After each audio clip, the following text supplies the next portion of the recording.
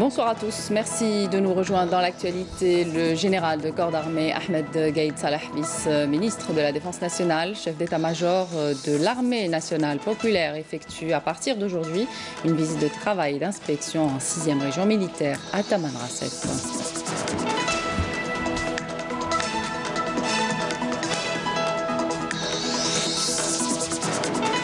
Industrie militaire ce soir dans la perspective de satisfaire les besoins exprimés par les différentes structures de l'ANP, une opération de livraison de 278 camions multiformes de marque Mercedes-Benz au profit de la direction centrale du matériel du ministère de la Défense nationale et des entreprises nationales publiques et privées. Reportage dans ce journal au niveau du quartier des Pins situé dans la wilaya d'Oran où le recours aux eaux de pluie et de sources expose les populations à des maladies à transmission hydrique. Et puis il y aura du football ce soir. Les Usmistes fêtent leur huitième titre de champion avec trois buts à 1 de leur déplacement chez les CS Constantine. Pour nous en parler avec nous sur ce plateau, notre consultant Taufir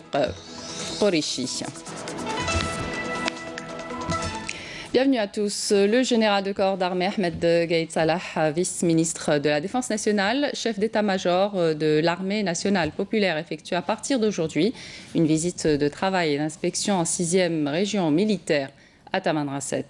Le général de corps d'armée supervisera lors de cette visite d'exécution l'exécution d'un exercice démonstratif avec munitions réelles, présidera également des réunions d'orientation avec les cadres et les personnels de la région et inspectera quelques unités déployées sur les frontières du sud du pays. À l'entame et après la cérémonie d'accueil, le général de corps d'armée, accompagné du général-major Mohamed Adroud, commandant de la 6e région militaire, a rappelé lors de sa rencontre avec le commandement et les cadres de la région les efforts soutenus, fournis par les unités mobilisées sur le territoire de cette importante région et le long des frontières sud du pays. Il a également souligné que sa supervision de cet exercice s'inscrit dans le cadre du suivi de la série d'exercices démonstratifs avec munitions réelles exécutés dernièrement au niveau de toutes les régions militaires et ce, dans l'objectif d'évaluer la deuxième phase du programme de préparation au combat 2018-2019, de s'enquérir sur le terrain du niveau de préparation atteint par le corps de bataille de l'armée nationale populaire et d'examiner le niveau de disponibilité opérationnelle des unités de combat.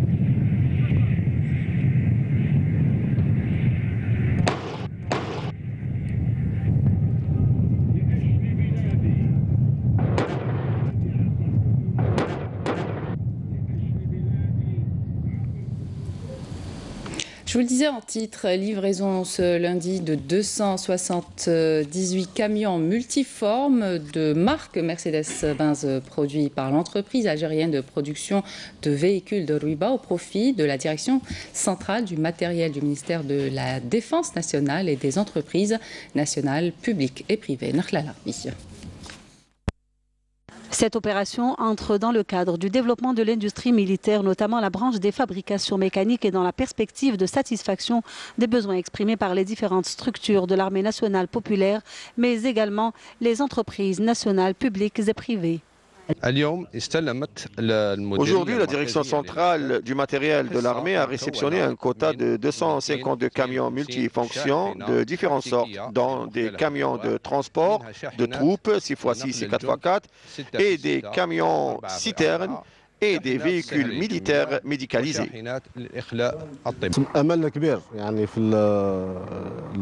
Nous avons grand espoir en cette entreprise de production de poids lourds Mercedes-Benz. Nous remercions l'armée nationale populaire pour ce choix judicieux. Les prix sont compétitifs et sa contribution efficace à l'économie nationale.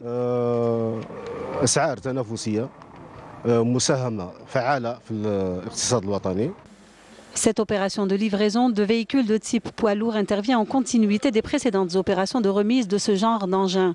Elle démontre la capacité de ces sociétés quant à la satisfaction des commandes en matière de quantité et de qualité des produits, en plus du respect rigoureux des délais de livraison, et ce conformément aux orientations du Haut commandement de l'armée nationale populaire qui vise l'optimisation de la production nationale.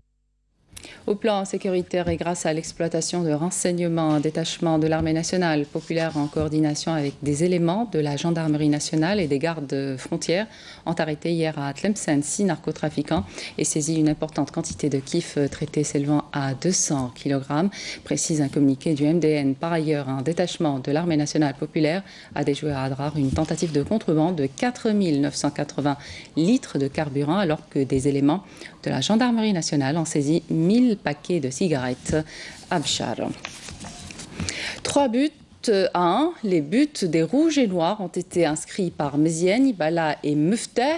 Tout s'est donc joué ce dimanche avec le sacre de l'USM Alger ayant coiffé au poteau la JS Kabylie et la relégation en Ligue 2 du Mopejaya de l'Olympique Médéa et du Derby Tejnant Halim la 30e et dernière journée de Ligue 1 mobiliste de football disputée hier soir a clôturé la saison 2018-2019 avec le sacre de l'USM Alger, championne d'Algérie pour la huitième fois de son histoire, la seconde place ayant échu à la JS Kabylie qui revient de loin et occupe le podium après avoir longtemps bataillé pour éviter la relégation dans les saisons précédentes, tandis que la troisième place est revenue au Parado Athletic Club, école de formation dont les enseignements portent aujourd'hui leurs fruits. Les trois équipes reléguées en Ligue 2 sont le Mouldia Olympique de Béjaïa, l'Olympique de Médéa et le TRB Tajnant. Cette saison a été particulièrement indécise, que ce soit pour les équipes en haut du classement ou les relégués, l'écart est entre eux d'un ou deux points uniquement. Les Rouges et Noirs ont remporté le titre grâce à une précieuse victoire obtenue lors de leur déplacement chez le CS Constantine 3-1, grâce à des réalisations signées Mzienne à la 32e minute, Ibarra à la 39e minute et Meftah à la 85e minute, alors que Belkacmi avait inscrit l'unique but des Sénéfir à la 34e minute de jeu. L'USMA termine ainsi avec 53 points devant la GS Kabylie ayant porté son capital à 52 unités après sa victoire contre le Cap Borj 2 à 0 grâce à des réalisations signées Hamaroun à la 38e minute et Belgarbi à la 54e minute. Et pour nous en parler sur le plateau, euh, notre consultant de la télévision algérienne, euh, Monsieur Taufir Khorichi, bonsoir. Merci d'être avec nous ce soir. Alors, les Usmistes fêtent euh, leur huitième titre de champion. Que peut-on dire ce soir sur ce huitième sacre? Je pense que c'est un sacre, tout d'abord, je tiens à féliciter l'USMA d'Alger ainsi que la GS Kabylie et, le PAC du Parado par rapport aux performances qu'ils ont réalisées cette année. Mais je pense que pour l'USMA, c'est un, parcours euh, d'un champion. Euh, c'est une équipe euh, qui a fait des résultats positifs. Je pense le parcours d'un champion ne se mesure pas sur deux ou trois échecs, mais tout, tout le parcours de l'équipe. Et je pense que l'USMA mérite amplement son titre, son huitième titre. C'est le 16e dans, dans l'histoire de l'USMA. 8 Coupes d'Algérie, 8, euh, titres de champion. Je pense que c'est mérité pour l'USMA parce qu'ils ont fait, euh, malgré il y a eu un recul, euh, plus ou moins ces dernières, sur les 3 ou 4 derniers matchs, mais je pense qu'elle mérite amplement son titre. Alors c'est un championnat qui a été marqué par le retour de la GS Kabylie avec une équipe jeune et qui se retrouve en deuxième position après l'USMA. Comment expliquez-vous ce retour? Le retour, euh, il est dû beaucoup plus euh, sur la bonne gestion et, et, aussi la gestion sur le plan financier et le recrutement. Mhm. Donc quand il y a une stabilité dans l'équipe sur tous les plans, que ce soit sur le plan administratif ou sur le plan technique, on ne peut que réaliser de bons résultats. Donc JSK, je pense que c'est une bonne chose pour le championnat national. Euh, son retour parmi les meilleures équipes euh, eux aussi. La JSK on peut dire que cette deuxième place, a le goût aussi d'un champion. Alors, trois équipes se retrouvent en Ligue 2, le Mob Jaya, Derby Tajnant et l'OM Medea. Que pensez-vous de ce retour Le retour de ces clubs en, Ligue 2, sachant que le CRB, qui était relégable en phase euh, aller, s'est classé premier si on prend en considération la phase retour? Mais je pense aussi qu'il faut dire un petit mot sur le pack de Parado. Mhm. C'est une équipe qui commence à récolter son fruit. C'est une équipe euh, qui mérite amplement, parce que c'est euh, une équipe qui mérite amplement sa place de de, de, troisième position. C'est une équipe qui a décroché son ticket pour une compétition africaine et c'est le fruit aussi d'une stabilité et, du travail à, de longue haleine. Donc pour, pour les trois équipes qui, ont, qui sont reléguées, je pense que c'est une logique. Mhm. Euh, il y a une instabilité au niveau de, de ces équipes, mhm. que, ce soit, que ce soit sur le plan technique ou sur le plan administratif. Donc c'est les conséquences d'une gestion qui n'est pas conforme euh, au statut de ces équipes et au niveau du championnat professionnel. Monsieur Taufir Korishi, merci d'avoir accepté notre invitation. Euh, voilà, donc bonne soirée à vous. Merci, Sahaf Tolkom.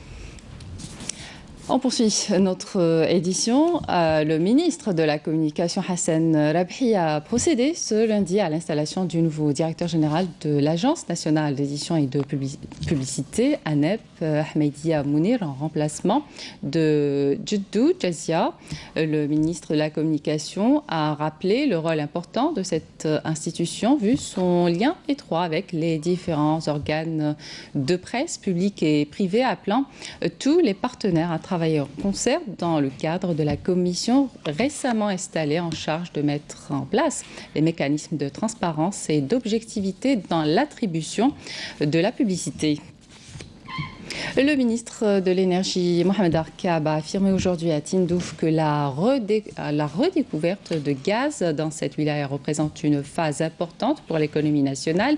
Il s'exprimait lors de l'inspection du champ d'exploitation dans la région de Rajbilet. Le ministre a indiqué justement que la redécouverte de gaz pour la première fois dans cette wilaya représente une phase importante pour l'économie aussi bien nationale que locale, sachant que le champ présente des indices positifs et a permis de produire quelques 275 mètres cubes de gaz et près de 300 litres heure de condensate pour euh, Arcab. Cette nouvelle euh, découverte a été réalisée sur un champ de quelques 140 km cubes et la prochaine étape portera sur l'évaluation de ce champ pour permettre à l'entreprise nationale Sonatrach d'avoir une idée exhaustive de le concernant avant d'entamer la phase suivante de développement et d'exploitation. Reportage ce soir dans le quartier des Pins situé dans la wilaya d'Oran où le recours aux eaux de pluie et de sources expose les populations à des maladies à transmission hydrique. Qu'est-ce qui qu'est-ce qui est fait par les autorités locales pour sécuriser cette consommation? Élément de réponse dans ce reportage réalisé par la station d'Oran. Il est commenté par Iman Khmissi. Les habitants du quartier des Pins sont nombreux à compter sur les eaux de cette source. L'eau est transportée comme à l'époque des pénuries d'eau dans des fûts en plastique. Cette eau a réputation d'être potable jusqu'à preuve du contraire.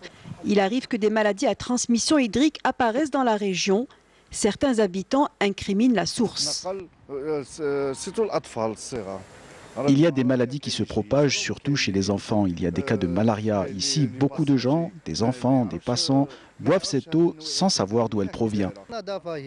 La propreté, c'est la base. Il faut que les puits soient contrôlés par les autorités compétentes. Même si la qualité de l'eau est primordiale, il existe d'autres facteurs de maladie. Pour cette laborantine, il faut plutôt s'inquiéter de la manière dont cette eau est stockée et distribuée. Il est possible de boire ces eaux à condition que l'on ajoute une à deux gouttes d'eau de javel. Certains produits comme le bisphénol A ou d'autres se trouvant dans le plastique contaminent les eaux et c'est la chaleur qui provoque cette contamination. Le spectre du choléra étant encore dans les esprits, un plan a été engagé par les services sanitaires de la wilaya.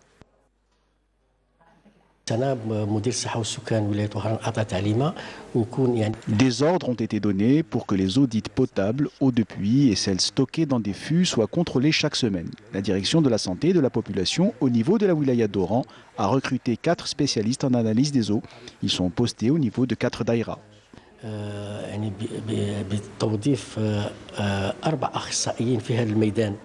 Officiellement, aucune maladie de source hydrique n'a été répertoriée. Entre-temps, des campagnes de sensibilisation sur l'hygiène des mains sont menées dans la wilaya d'Oran. Son nom, la ville, la nouvelle ville de Sidi la particularité, ville intelligente. On pourrait presque imaginer des véhicules électriques, des smart buildings ou encore une ville numérique. Vous allez le constater par vos propres yeux. Nous sommes loin de tout cela. Flabraz. Les nouveaux locataires de la ville nouvelle de Sidi Abdallah souffrent d'un manque flagrant en matière de services. Les boutiques, les marchés et les boulangeries sont très rares dans cet grand espace d'habitation. Un vrai calvaire. Pour acheter tout ce qui est fruits et légumes, c'est cher. C'est vraiment cher. La situation est très profitable pour les vendeurs. Ailleurs, un élément fait 90 dinars, ici fait 140 dinars. Il n'y a ni marché de proximité, ni pharmacie. Cette situation devient pesante et surtout coûteuse pour les habitants de la nouvelle ville de Sidi Abdallah. On achète du pain sec, froid et poussiéreux distribué dans des corbeilles de fortune. La commission a fait son travail et a désigné le lieu où sera mis en place le marché de fruits et légumes. Sauf que certains habitants ont émis des objections. Ils ne veulent pas de marché près de leurs habitations. La ville nouvelle de Sidi Abdallah, la ville intelligente, est en quête d'infrastructures de services et de prestations pour l'amélioration du cadre de vie de ses locataires. Ils sont porteurs de projets intelligents avec beaucoup d'ambition. À Adrar, nombreux sont ces jeunes qui se font accompagner par des spécialistes afin de concrétiser leurs projets. L'incubateur d'entreprise de la ville leur offre justement un espace d'échange et de concertation. Flabraz.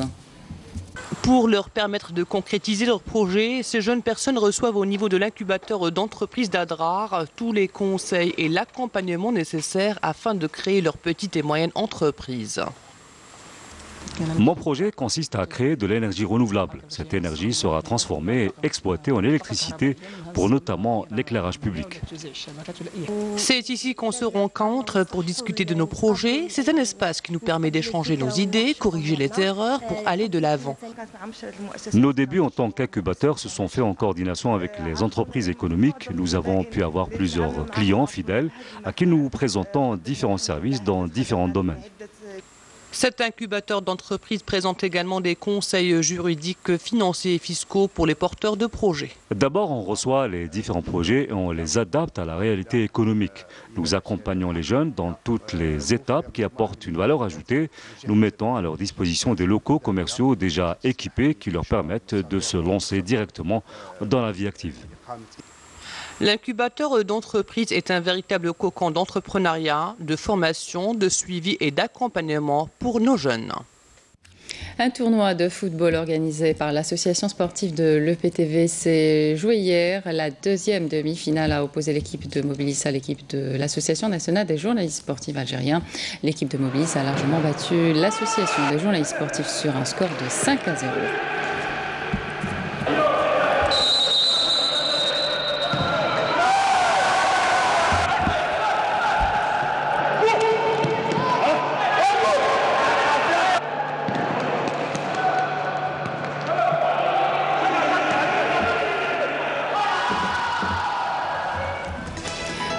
Cette édition. Merci de votre attention. L'information continue sur les liens qui s'affichent sur votre petit écran. Excellente suite de programme sur Canal Algérie et à demain.